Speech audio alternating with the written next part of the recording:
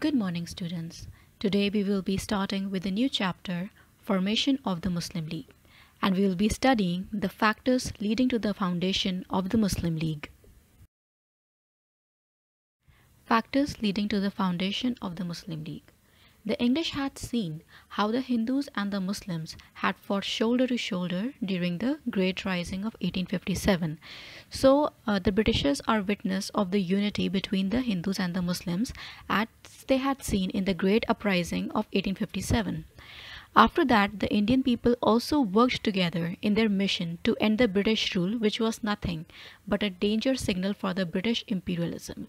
So, this unity also led the Indians to fight together against the Britishers to end the British rule in India, and this was just a threat to the Britishers.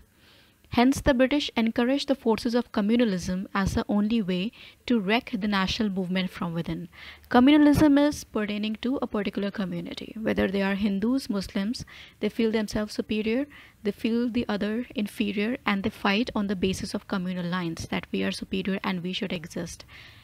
So, uh, these Britishers they encouraged the feelings of communalism in the hearts of the Indians to break the unity and to wreck the national movement. If the Indians are united, only then the national movement can go on. If the Indians are not united, the national movement cannot carry on. So that was the reason why the Britishers started to wreck the national movement and they started to create hostility between the Hindus and the Muslims. They branded the national movement as a movement for establishing the Hindu Rashtra in India the Britishers told the Muslims that this national movement is only for creating a Hindu Rashtra, means a nation which will only include the Hindus. So the Muslims should feel threatened that if a Hindu Rashtra will come over here, then they will be a complete minority and their interests will not be looked after. So this was the reason how. This is how the Britishers created anti-sentiments in the hearts of the Muslims against the Hindus that if you are going to be a part of the national movement and if india is going to achieve freedom then what will happen that an that a hindu rashtra will be formed?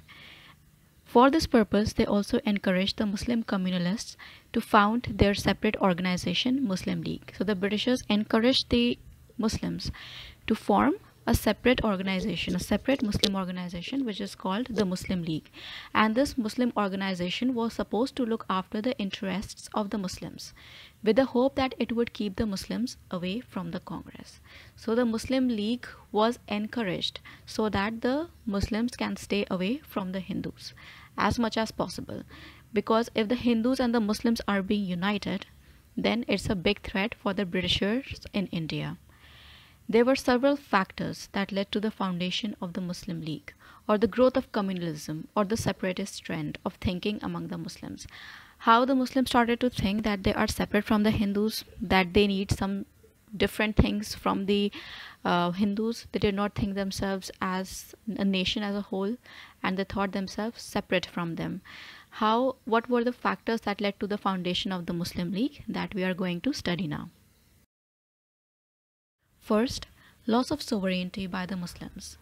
The Muslims were the rulers of India before the English set foot on it. So before the English came here, the Mughal rulers were ruling India and obviously the Mughal rulers were Muslims. The British established their rule after dethroning the Mughal kings in India.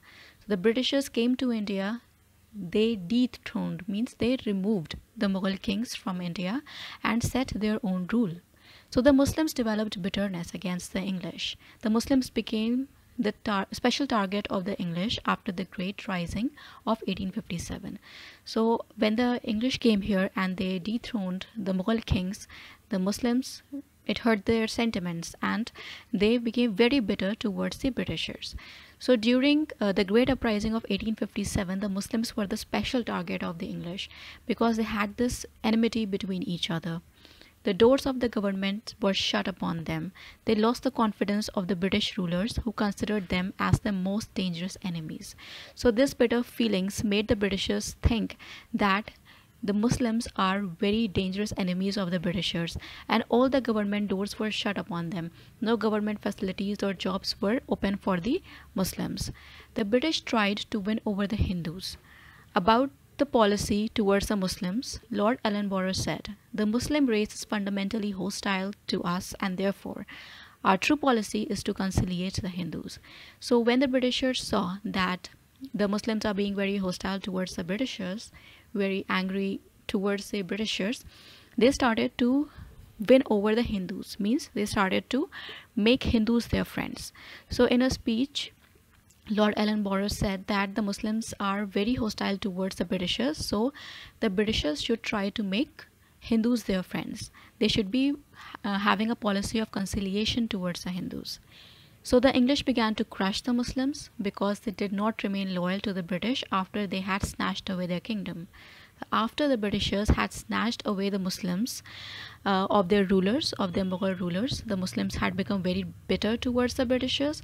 Britishers realized that uh, we can never have Muslims as our friends, they are only our enemies. So it's better in order to crush the Muslims, we should close all the government doors upon them and we should try to make Hindus our friends and try to make uh, Hindus bring Hindus in our party. Second, economic backwardness of the Muslims. The English tried to crush the Muslims in social and economic spheres as well. Not only they were crushing them physically, but in this social and economic sphere as well, they were crushing the Muslims because Muslims were economically backward during that time they were not recruited to civil and military services. So civil services were not for them, the military were not for the Muslims. Government jobs were mostly reserved for the Hindus. So as we have studied in the previous point that all the government doors were closed for them and they were open for the Hindus. So most of the jobs and seats were reserved for the Hindus in the government but uh, not for the Muslims. They were not even recruited to military or civil services because the Britishers did not trust them the Muslims remained poor and unemployed. So, because of this reason, the Muslims cannot get a job, and because of not getting a job, they remained unemployed. The economic policies of the British impoverished the Muslims. So the policies that the British had, it only took away more and more money from the Muslims, and they were completely in utter poverty. They found new opportunities in trade, industry, business, or professions. So, as a substitute, they were not getting any government jobs. So, as a substitute, they found some opportunities uh, to work in trade, industry, business, or in other professions. But they were not getting any government facilities or government jobs. Landlords and zamindars, whether Hindus or Muslims, supported the British rule out of self interest. So, all the landlords and zamindars, be it Hindu or Muslim, they were supporting the British rule out of self interest. Self interest means that uh, they were helping them, supporting them because they were getting something in return. The crippling of arts and crafts in village also led to poverty among the Muslims. So there was a lot of uh, decline in the arts and crafts in the villages. So that also led to the poverty of the Muslims because a lot of Muslims were working in these arts and crafts industries. As a result, the economic condition of the Muslims deteriorated, means it only declined. The economic condition of the Muslims were not getting any better. They, they held the British responsible for it and began to hate them. It gave birth to the feelings of revolt. So all the condition, this entire condition of the Muslims, they were totally economically backward. They had no jobs, they had no money, and this only disintegrated their condition the Muslims held the Britishers responsible for their plight and they began to hate them even more. And this gave a feeling of revolt to the Muslims. Third, backwardness in the social and cultural fields. So, not only the Muslims were backward economically, but in the social and cultural fields also they were backward. The English introduced the system of Western education literature and science through the medium of English language. So we all know that the Britishers brought Western education in India, Western literature and sciences in India, and the and these uh, education, these Western sciences and education were imparted through the medium of English. Persian was replaced by English in courts. So earlier the court language was Persian, but now Persian language was replaced by English. So not only the medium of education was English, but also the court language was also English. The Muslims did not adopt the Western system of education because they were proud of their own literature and culture. So the uh, Muslims, Indian Muslims, they did not accept this Western education because they thought that their literature and culture is sufficient. They were proud of their own literature and culture, and they believed that their system of education should be uh, for the students and not the Western system of education. As a result, they remained backward in social and cultural spheres. So this was this is the reason why they remained backward in social and cultural areas as well, because they were not open to change. They were not open to other systems of education. They only confined themselves to their own system of education. On the other hand, the Hindus adopted the Western system of education and remained ahead in every sphere. But on the other side, what happened? The Hindus readily accepted the Western system of education. They accepted it and this is the reason why they were ahead of the muslims in every spheres of life. Because the hindus not only they have their own culture literature uh, education system but they also had the western. And they were adopting their own as well as the western system of education. So they were ahead in every sphere of life. Fourth british policy of divide and rule. So this is another reason why the muslim league was formed as discussed above, after the rising of 1857, the British treated the Muslims most severely and brutally. So as you all know that after the great uprising of 1857, the Britishers and the Indian Muslims were very much hostile towards each other and uh, the Muslims were treated very brutally at the hands of the Britishers. This resulted in the backwardness of the Muslims in political, economic and social spheres. So this suppression and repression of the Muslims that led to their backwardness in the political, economic, and social spheres because they were standing against the government. So the government was standing against them and not supporting them in any way. But the rising tide of the national movement forced the British to change their attitude and policy towards the Muslims who were now too weak to revolt against the British. So as soon as the national movement started, there was this rising tide of the national movement. The Britishers changed their attitude. They saw that the Muslims are very weak now and they are so weak that they cannot revolt against the Britishers. So now they thought to change their policies. They followed the policy of divide and rule. One of the British politicians, Mount Stuart Elphinstone, clearly said, Divide et impera, divide and rule was the old Roman motto and it should be ours. So he clearly says that divide et impera, it means that divide and rule, it is a Roman motto.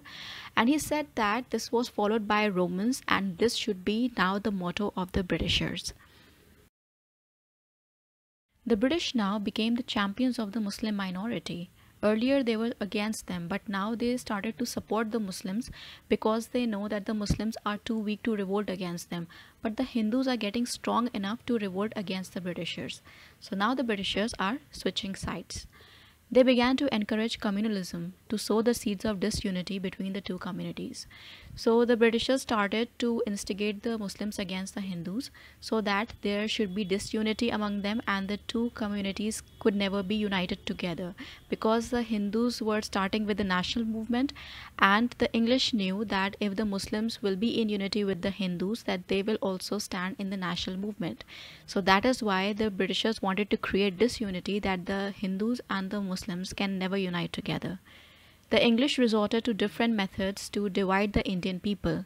They presented the Muslim rulers as plunderers and tyrannical bigots to create hatred for them among the Hindus. Similarly, they painted several Hindu rulers as cruel to their Muslim subjects. So, this divide and rule policy was uh, uh, implemented in various different ways. What happened that the Britishers presented the Muslim rulers as plunderers, that they came to India just to loot India. They uh, showed the Muslim rulers as invaders and uh, showed the Hindus that the these invaders did not come to India for any benefit but they only came to India to loot them. So this created hatred in the hearts of the Hindus against the Muslims. And to the Muslims they depicted that the Hindu rulers were bad. So this created hatred among the hearts of the Muslims against the Hindus. So the Britishers were playing the Hindus against the Muslims and vice versa In 1905, they tried to justify the partition of Bengal by telling the Muslims that Bengal was being partitioned to create a new Muslim majority province where the Hindus would not be able to subvert their interest. So we all know the actual reason of partition of Bengal that uh, Lord Curzon wanted to divide the Hindus and the Muslims. They were totally in unity in Bengal, so he wanted to divide them so that he could divide and rule because a united Bengal, a united India would be more powerful and the britishers will not stand a chance. So now when they started to create disunity among hindus and muslims the britishers started to justify the partition of bengal telling the muslims that we were partitioning bengal. The reason is right that we wanted to partition the Hindus and the Muslims, but not to end the disunity. We wanted to partition Bengal because we wanted the Muslims to have a province there where they would be in majority, and the Hindus will not be able to subvert their interest. Means the Hindus will not be able to harm them in any way, and the Muslims will be getting their rights, will be getting their interest in their own province. Hindus will be away from them, and Hindus will not be able to cause any harms to the interest of the Indians. The foundation of the Muslim League in 1906 was an attempt to drive a wedge between the two communities. So this foundation of the Muslim League was only to drive a split, a rift between the two communities by not letting them unite together. As a result, the Muslims began to support the partition of Bengal and called the Swadeshi movement a mere hoax. Means Swadeshi and boycott movement was started in retaliation with the partition of Bengal because the Bengalis did not want the partition of Bengal but now the Muslims believed in the Britishers that the partition of Bengal was done for the Muslims for the interest of the Muslims and not just for any other reason. So they started to support the partition that yes Bengal should be partitioned because we need our own majority over there. We need to be safe from these hindus and we need to have our own province where we will be safe and our interests will be looked after. So and they started to call swadeshi and boycott movement a mere hoax means it's all fake it's all a sham. They don't need to start all of these things because partition of bengal is now being accepted by the muslims the Morley reforms of 1909 introduced the principle of communal representation in the legislature. So through the Minto Morley reforms, Morley reforms of 1909, what happened that now there will be communal representation in the legislature as well. In the legislature, the people will be representing on the basis of their religion. Hindus will be getting their seats and Muslims will be having their reserved seats in the legislatures. So through this Morley reform, even more disunity was created between the Hindus and the Muslims of India. Fifth, new interpretation to Indian history. Indian history was presented by the British historians in such a way as to arouse and foster communal feelings among the Indians. In the previous points, we have already studied that how the Britishers were depicting the Indian rulers, uh, the Muslim rulers towards the Hindus and the Hindu rulers to the Muslims. So this was one of this uh, method through which they are going to uh, divide the Hindus and the Muslims. So the Indian history was having a new interpretation now. And through this new interpretation of Indian history, the Britishers started to create communal feelings among the Indians. The Britishers divided the Indian history into Hindu and the Muslim period. So the British rulers were the ones who divided the Indian history between Hindus and Muslim periods. In the Hindu period, they dubbed the Muslims as foreign invaders who settled here as conquerors.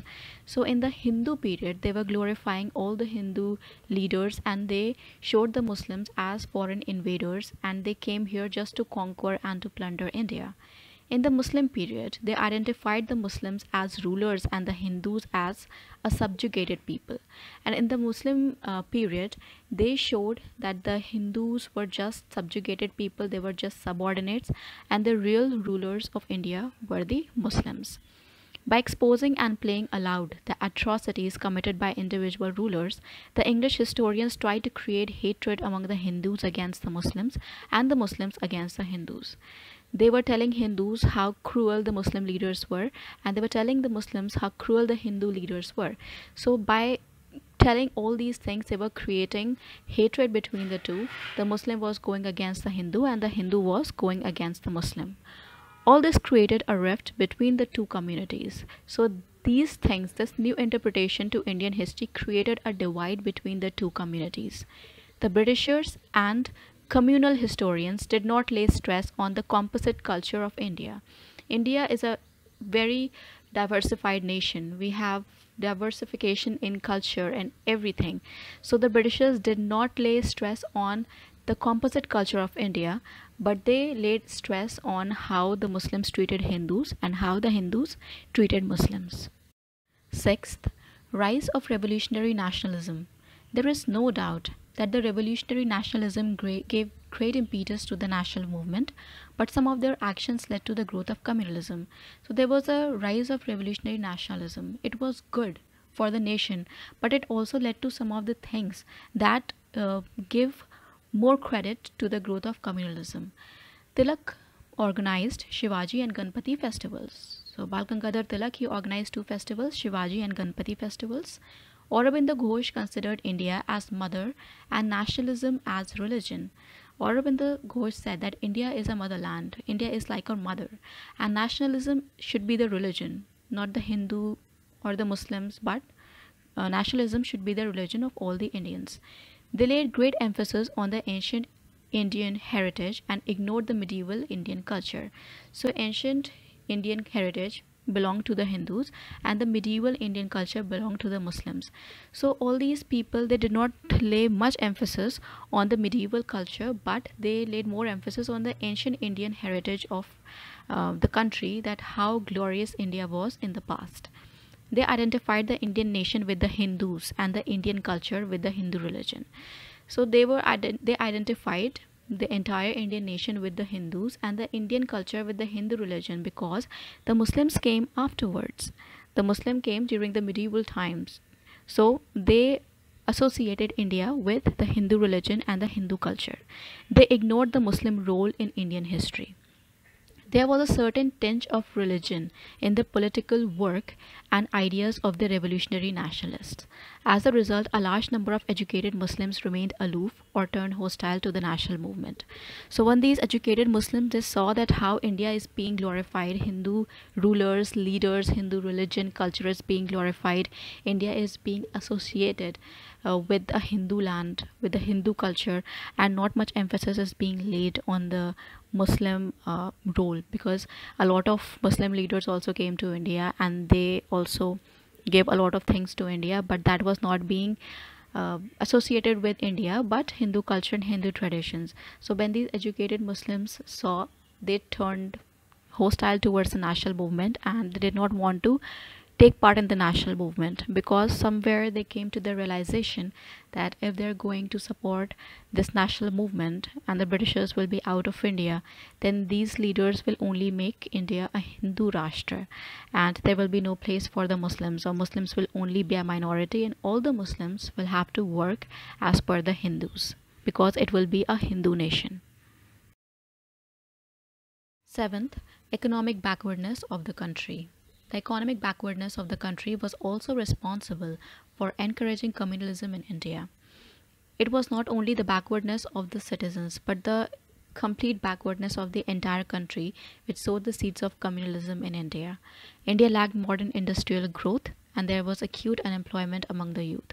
So there was no industrial growth because already the Britishers were following the economic drain thing and uh, there was also acute unemployment among the youth there were a lot of educated Indians, but they were unemployed because all the Britishers were employed to high posts. There was a fierce competition among them for securing jobs. So there were so many Indians who were unemployed and there were so few jobs for the Indians and there was such a fierce competition. A lot of competition was going on among the Indians to get these jobs. It tempted the people to demand reservation in jobs on the basis of their sect, caste, creed or religion.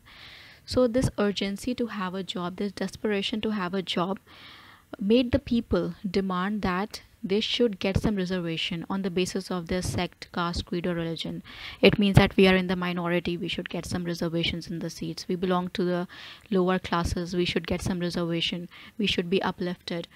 Such a thing also added to the British policy of divide and rule. So, this was also very helpful to the Britishers because they were already following a policy of divide and rule and uh, the Indian people asking for reservations in jobs also was resulting also was dividing the people among different different sections both the Hindus and the Muslim leaders failed to convince the common man that the English themselves were to blame for their economic backwardness.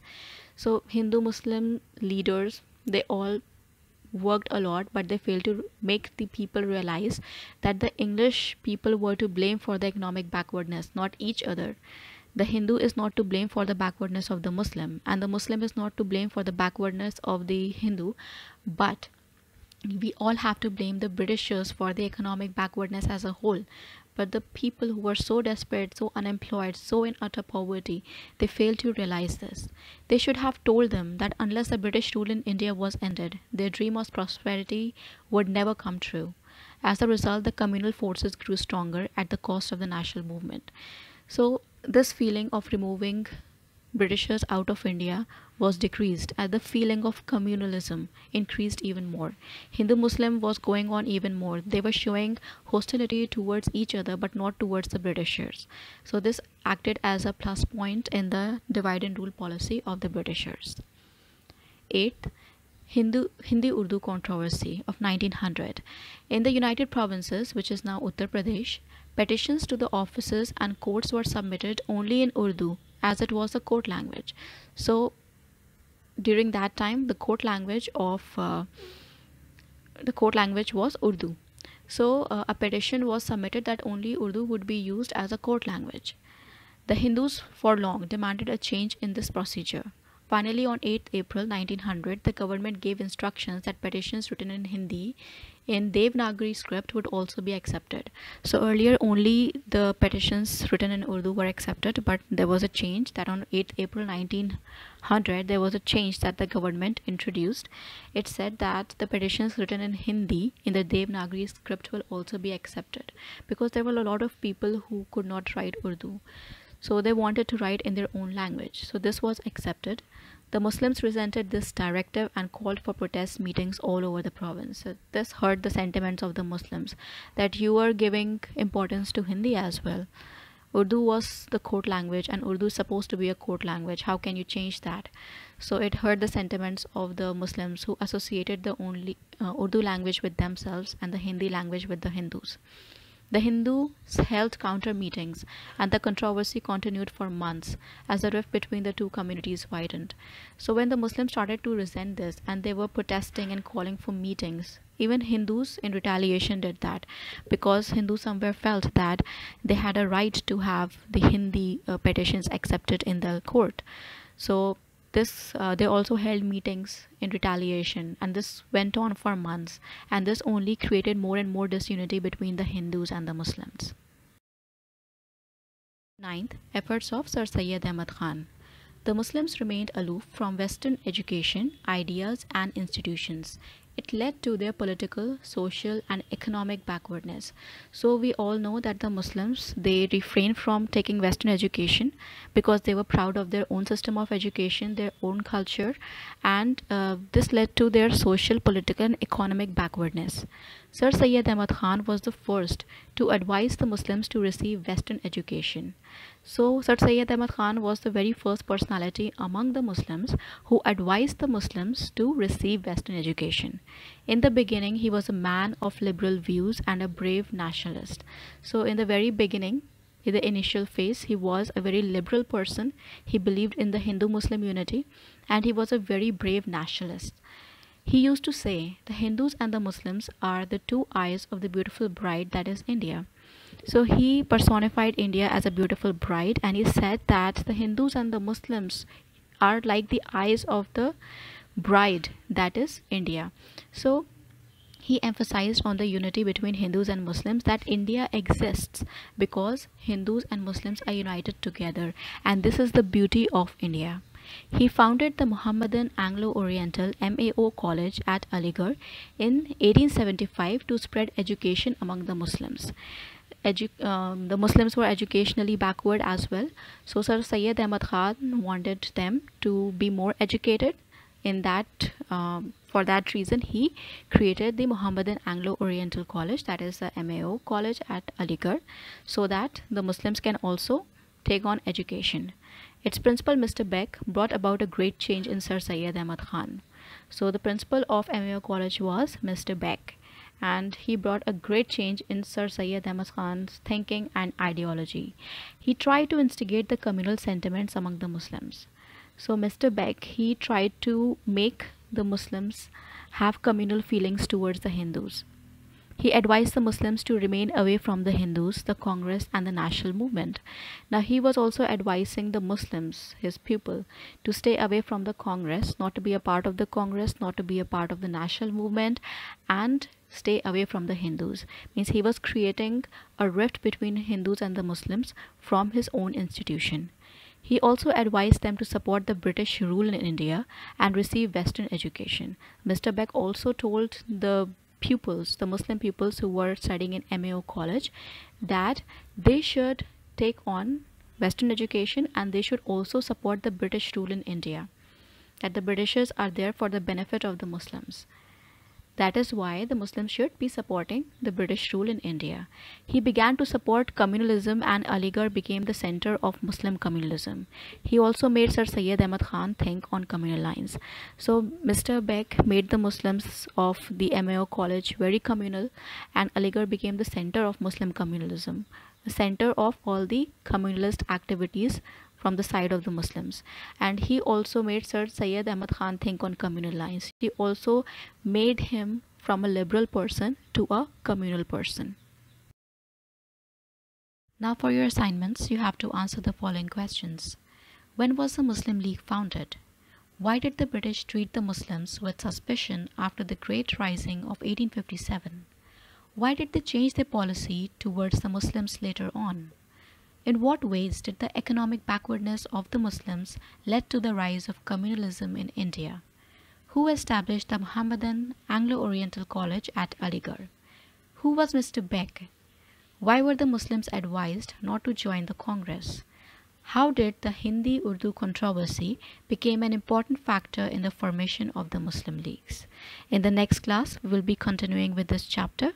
Have a nice day.